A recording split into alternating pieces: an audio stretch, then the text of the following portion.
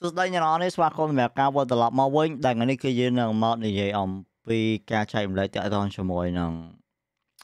រឿងរ៉ាវដែល Pack Burnix Plus ត្រូវបានគេ hack ក៏ដូចជា account របស់ leasing និង page របស់ leasing ជាដើម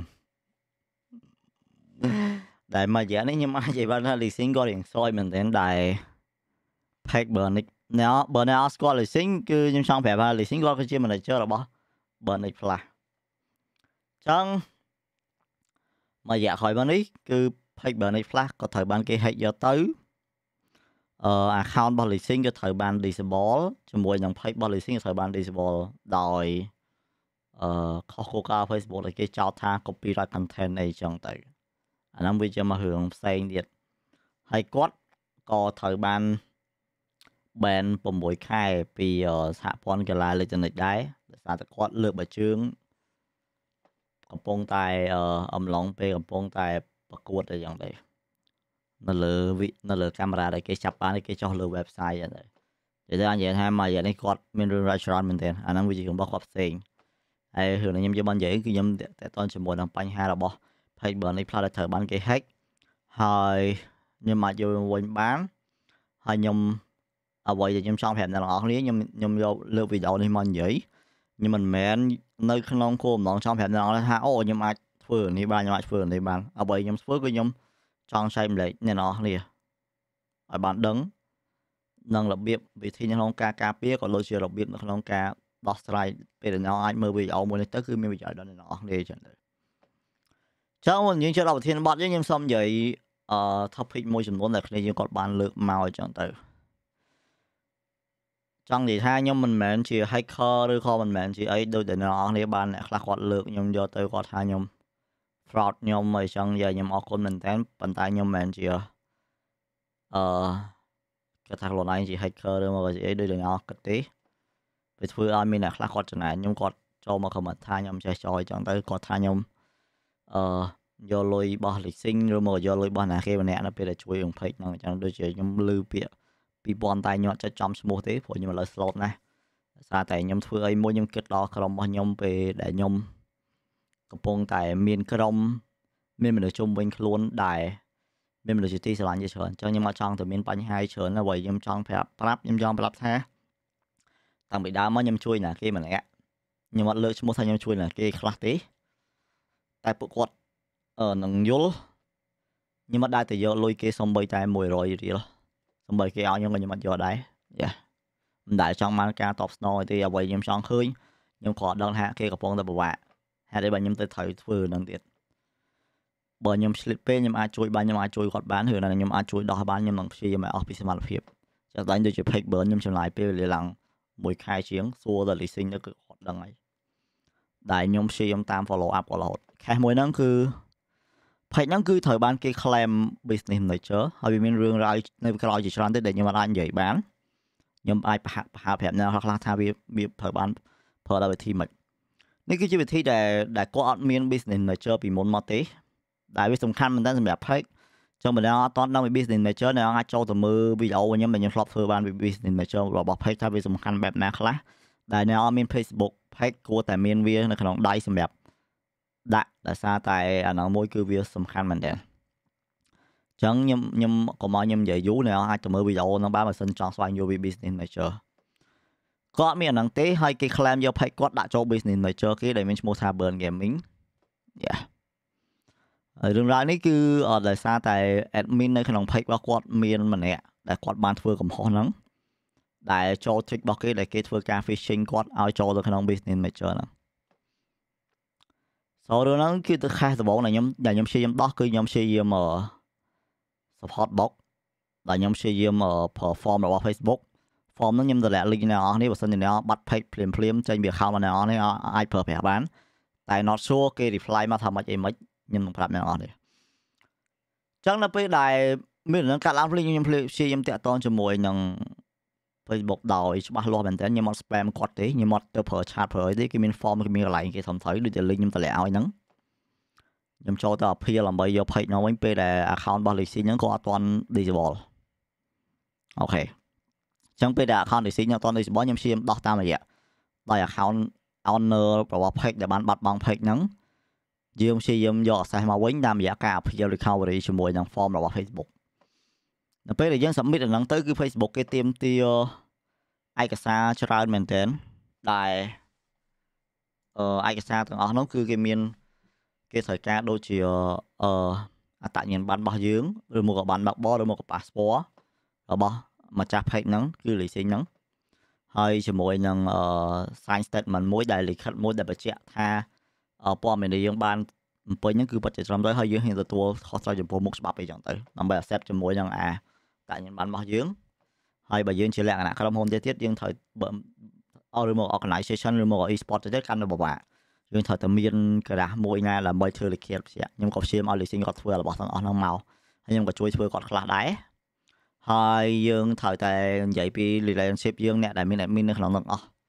ព្រោះ admin របស់ leasing គឺច្រើនមែនតើចឹងខ្ញុំ recommend បើមាន page កុំដាក់ admin ច្រើនពេកវាពិបាកយើងត្រូវតែពេលគេសួរយើងត្រូវ detail យកគេថា យើងមានតំណែងអីខ្លះជាមួយ admin ដែលមាននៅក្នុងនោះទាំងអស់ហើយយើងត្រូវតែ explain គេបើសិនជាមាន admin ណាម្នាក់ដែលយើងបានបញ្ឈប់ហើយគាត់នៅតែអឺនៅក្នុង relationship ហ្នឹងទៀតឬមកក៏យើងត្រូវបានដកគាត់ចេញពី admin នៅពេលណាមួយចឹងទៅអាហ្នឹងក៏ត្រូវបញ្យល់គេដែរហើយយើងត្រូវផ្ដល់ account admin ថ្មីមួយអ្នកណាដែលយើងចង់ add ចូល page អីចឹងទៅចាត់ដៃព័ត៌មានអស់ហ្នឹងគឺខ្ញុំបានធ្វើឲ្យអស់ហើយបាន complete ទៅឲ្យអស់ហើយយ៉ា ប៉ុន្តែ process ហ្នឹងវា work ប្រហែលជាចិត្ត5ថ្ងៃទៅ10ថ្ងៃដែលខ្ញុំព្យាយាម follow up ជាមួយនឹង Meta team អ្វីដែលពួកយើងទទួលបានវិញគឺពួកយើងទទួលបានព័ត៌មានមួយដែលយើងអឺខកចិត្តមែនទែនគឺ account leasing ត្រូវបាន disable សូយើងអាចប្រើអាហ្នឹងដើម្បីទៅធ្វើការ recovery page នៅមកវិញបានទៀតទេចឹង cache ហ្នឹងក៏វាត្រូវបានបិទចោលមួយសារខ្ញុំក៏ព្យាយាមបើក cache មួយទៀតបើក cache ហ្នឹងគឺខ្ញុំបើក cache direct ខ្លួនឯងជាមួយនឹង Facebook ហើយព្យាយាមពេញព័ត៌មានតាមហ្នឹងដែរប៉ុន្តែយើងមាន head poll ច្រើនជាងមុនដោយសារតែ account នោះគឺ disable យ៉ាចាំមាន head poll ថ្មីមួយទៀតផ្សេងទៀតអញ្ចឹងទៅហើយអឺ Facebook នៅតែមិនទាន់អាចទទួលយកបានពិបាកនៅក្នុងការទទួលយកយើងបានអញ្ចឹងទៅចឹងវិធីចុងក្រោយគឺយើងមានយើងទទួលស្គាល់ថាយើងទទួលបានការ support ពី Facebook ខ្លះពិតមែនប៉ុន្តែអឺគេនៅតែអាចផ្ដល់យើងបានវិញដោយសារតែ យើងអត់មានរបស់អីដែលបញ្ជាក់ឲ្យគេបានច្រើនខ្ញុំខ្ញុំប្រាប់មកថារបៀបធ្វើការមួយ Facebook គឺពិបាកមែនទែនតែបើ Google គឺងាយស្រួល Facebook ឥឡូវគឺពិបាកហើយយូរទៀតទំមគេមួយថ្ងៃគេ reply យើងតែម្ដងទៅពីរដងអីចឹងទៅពីច្រើននៅអាម៉ោងដែលយើងកំពុងតែគេហ្នឹងគេកំពុងតែធ្វើការអញ្ចឹងបានគេ reply យើងកន្លោះម៉ោង1ទៅម៉ោង5ម៉ោង6ព្រឹកអីចឹងទៅដល់ពេលវិធីចុងក្រោយគឺអឺ ប្រហែលជាអាចនិយាយប្រាប់អ្នកនរគ្នាបានអាសាតែរឿងហ្នឹងវាមានរឿងផ្ទៃក្នុងច្រើនវាវាប៉ះពាល់ទៅដល់បុគ្គលច្រើនយេសូខ្ញុំក៏ចង់ខ្ញុំខ្ញុំរឿងខ្លះខ្ញុំនិយាយបានខ្ញុំប្រាប់អ្នកនរថាខ្ញុំនិយាយបានតែខ្ញុំដឹងថារឿងយក page មកវិញនេះគឺខ្ញុំមិនមែនធ្វើដោយ Facebook support គាត់អ្នកជួយខ្ញុំទេគាត់អ្នកជួយពួកយើងទេគឺយើងព្យាយាមធ្វើវាដោយខ្លួនឯង ពួកគាត់មកយកពីយើងគឺពួកគាត់ fishing យើងយើងទៅយកពីគាត់មកវិញក៏យើង fishing គាត់វិញដែរតែប៉ុណ្្នឹងទេអត់មានអីទេអឺរឿងប៉ុណ្្នឹងឯងចុងក្រោយក៏យើង claim បាន business manager មកវិញហើយជាចុងបញ្ចប់ក៏យើងដើម្បីឲ្យការច្បាស់យើងខ្លាចគេ claim អាហ្នឹងយកទៅវិញទៀតយើងក៏ព្យាយាមបញ្ជាក់ជាមួយនឹង Facebook ទៅគេក៏ confirm មកយើងថាគេអូខេតែអ្វីយើងកំពុងដោះស្រាយពេលនេះគឺរឿង copyright លក់ស្វាយលក់អីនៅលើ page ហ្នឹងវាជាប់ copyright ជាប់ស្រេចដែល Facebook កំពុងដោះឲ្យតែវាមិនដឹងថាប្រហែលខែมันមានដោះឲ្យយើងទេ view មែនតើហើយនេះគឺជាអ្វីខ្ញុំចង់ប្រាប់អ្នកអរថាអ្នកអរគួរតែរកវិធីសាស្ត្រការពារបានច្រើនជាពិសេសមើលអាសាមើលវីដេអូខ្ញុំឬមកមើលវីដេអូអ្នកផ្សេងក៏បានដែរពីរបៀបនៅក្នុងការការពារប្រព័ន្ធបណ្ដាញសង្គមរបស់អ្នកនរគ្នាឲ្យបានល្អប្រសើរជាជាង ពេលដែលមានបញ្ហាអញ្ចឹងយើងទៅរកដំណោះស្រាយវាវាពិបាកមែនតើ ហើយញ៉ាក៏ដឹងដែរអ្នកដែលធ្វើការមួយ Facebook អាច comment បានដឹងថាវាពិបាកមកយាយខ្ញុំជឿថាមែនខ្ញុំទេគ្នាយើងជាច្រើនដែលក៏កំពុងធ្វើការ Facebook ដូចជាអ្នកកំពុងសបផ្សាយមួយ Facebook មួយអីដោយសារតែក្រុមហ៊ុនឥឡូវគឺវាពិបាកអញ្ចឹងពេលដែលចង់តំណែងពេលដែលចង់រកឲ្យគាត់ជួយដោះស្រាយបញ្ហាគឺវាពិបាកក្នុងការចរចាហើយទៀមទាឯកសារយើងច្រើនមែនទែនតែតាមពិតវាគ្រាន់ជាការអស់បន្លាយពេលដោយសារតែពួកគាត់មិនមានពេលវេលាច្រើនសម្រាប់យើងបើសិនជា YouTube គឺងាយស្រួល YouTube ឆាតភ្លាមមួយថ្ងៃទៅពីរថ្ងៃគឺ everything គឺមកវិញហើយតែណាមួយ paid listing គឺខុសត្រង់មួយគាត់អត់មានអឺ business manager ហងធ្វើគេគេមាន business manager គេច្បាស់ហើយហើយ business business manager ហ្នឹងគេ verify ទៀតគេមាន ID របស់ listing ទៀត That's why វាវាពិបាកនឹងគេផ្ដល់ឲ្យយើងវិញវាវាចំណុចត្រង់ហ្នឹងដែលខ្ញុំព្យាយាម up that follow up cache នឹងបញ្ជាក់មួយ Facebook មែនតើពេលដែលយើងយក page ខ្ញុំបានវិញហើយយើងបញ្ជាក់ច្រើនចំណុចមែនតើបានគេ confirm គេថាអូខេយើងអាចទួយើងវិញបានហើយយើងក៏បាន kick អឺអ្នកដែលគាត់ phishing page នឹងពីរអ្នកយកទៅនឹងចេញពី business manager និងចេញពី page ចោលទៅរឿងវាប៉ុណ្្នឹងឯងហើយអ្វីដែលខ្ញុំចង់ចែកម្លែកដល់អ្នកនរគ្នាបើសិនជាករណី account របស់អ្នកទាំងអស់គ្នាបាន បាត់បង់ page បានគេ hack យកឬមកគេ claim យក page ទៅបាត់អ្នកនរអាចអឺប្រើ link ដែលខ្ញុំឲ្យអ្នកនរគ្នាហ្នឹងអាហ្នឹងបើករណីយើងជា admin ផ្ទាល់យើងអាច recovery យើងវិញបានតាមរយៈ link ហ្នឹងប៉ុន្តែពេលដែលយើងចុចទៅយើងគ្រាន់ select page យើងដែលបាត់បង់ admin ហ្នឹងភ្លាមភ្លាមហ្នឹងទៅអឺប្រហែលជាមួយថ្ងៃឬមកពីរថ្ងៃឬមកលឿនបំផុតអាចនឹងកន្លះថ្ងៃគេនឹង email មកយើងយើងអាសាមើល email ដែលយើងភ្ជាប់ជាមួយ account របស់យើងហ្នឹងទៅ គេនឹងអឺឬមកកន្លែង email ដែលយើងបានបានពេញនៅក្នុងអាកន្លែង form ហ្នឹងគេនឹងផ្ញើឲ្យយើងវិញហើយគេប្រាប់ថាគេត្រូវការឯកសារគេខ្លះវាច្រើនវាទៀមទាច្រើនមែនតើអ្នកនរគ្នាបើ YouTube គឺងាយស្រួលខ្ញុំខ្ញុំនៅតែនិយាយម្ដងហើយម្ដងទៀតអានេះគឺជាអ្វីខ្ញុំអាចចែកម្លែកបានហើយខ្ញុំគ្រាន់ចង់បញ្ជាក់ជាមួយអ្នកនរគ្នាបានច្បាស់ថាបងប្អូនគួរតែព្យាយាមមើលវីដេអូចំណាយពេលវេលាការពារមុនពេលដែលវាមានបញ្ហាកើតឡើងវាពិបាកខ្លាំងមែនទែន វាអត់ងាយស្រួលដូចការយើងគិតទេហើយមានអ្នកខ្លះគាត់ទៅនិយាយថាខ្ញុំនឹងខ្ញុំទៅយកលុយលីស៊ីងនឹង2000អញ្ចេះអញ្ចោះអ្នកខ្លះក៏គាត់និយាយថាអូដោយសារបាន Facebook support អីបើថាខ្ញុំខ្លាំងខ្ញុំអត់មានទៅតតាំងអីណាថាខ្លួនខ្ញុំខ្លាំងអីទេប៉ុន្តែអ្វីដែលខ្ញុំជួយគេបានខ្ញុំគ្រាន់ខ្ញុំចង់ជួយគេខ្ញុំគ្រាន់ចង់ឃើញស្នាមញញឹមរបស់គេ ខ្ញុំឃើញពេលគេពេលដែលគេកំពុងតែមានទុកអារបស់ទាំងអស់ហ្នឹងគឺជារបស់ដែលខ្ញុំខ្ញុំតែតែគិតនៅក្នុងខួរខ្ញុំតាំងពីដើមមកខ្ញុំមិនអាចយកលុយគេបានសំបីតែ100យ៉ាមនុស្សម្នាក់ដែលកំពុងតែមានទុកឲ្យរត់មកយើងជួយហើយក៏មិនប្រកាសថាខ្ញុំអាចជួយទៅបានគ្រប់គ្នាទាំងអស់ដែរខ្ញុំអធិស្ឋានមែនទែនដែលគ្នាយើងខ្លះគាត់មកខ្ញុំដែរតែខ្ញុំអត់បានជួយអត់បានអីកន្លងមកអញ្ចឹងទៅដោយសារតែអ្នកអត់ដឹងថាវាចំណាយពេលនៅក្នុងមួយករណីមួយករណីវាចំណាយពេលវេលាច្រើនមែនទែន ដែលវាមិនងាយស្រួលចុះខ្ញុំប្រាប់ថារបស់ម៉ាមកមុំដល់យកចាំបាច់យើងបោះវាចោលទៅយើងលេងថ្មីទៅវាល្អជាងបើយើងចេះប្រយ័ត្នប្រយែងយើងគួរតែប្រយ័ត្នប្រយែងតាំងពីដំបូងមកម្លេះហើយព្យាយាម set up ព័ត៌មានបានពេញលេញដើម្បីអីពេលដែលមានបញ្ហាបើយើងចង់ដោះស្រាយវាយើងមានព័ត៌មានទាំងអស់ហ្នឹងគេនឹងឲ្យយើងវិញហើយដូចខ្ញុំនិយាយតាំងពីដើមឬមកក៏វីដេអូយើងកន្លងមកចឹងអីដែលវាជារបស់យើងវាគង់តែបានមកយើងវិញខ្លាចតែយើងធ្វើខុសគោលការណ៍គេអីចឹងគេមិនងាយឲ្យយើងវិញទេ ហើយបើយើងអត់បានពេញព័ត៌មានច្បាស់លាស់គេមិនងាយយើងវិញដែរ So that's why អ្នកនរគ្នាខ្ញុំសង្ឃឹមអ្នកនរនឹងយល់នៅត្រង់ចំណុចនេះហើយមានគ្នាយើងបន្តបន្ទាប់មែនទែនតែឆាតមកខ្ញុំរឿងនេះខ្ញុំខ្ញុំគ្រាន់ចង់ប្រាប់អ្នកហាខ្ញុំចង់សម្រាប់មួយរយៈសិនវាខ្ញុំខ្ញុំមានការងារខ្ញុំត្រូវធ្វើច្រើនមែនតើនៅក្នុងមួយថ្ងៃមួយថ្ងៃហើយខ្ញុំឆ្លៀតឲ្យបានធំតែពេលយប់ខ្ញុំអាចឆ្លើយឆាតអ្នកនរគ្នាបានខ្ញុំអាចធ្វើឲ្យយោបល់បាននេះវាបើសិនជាអនុវត្តឲ្យអ្នកនរគ្នាវាពិបាក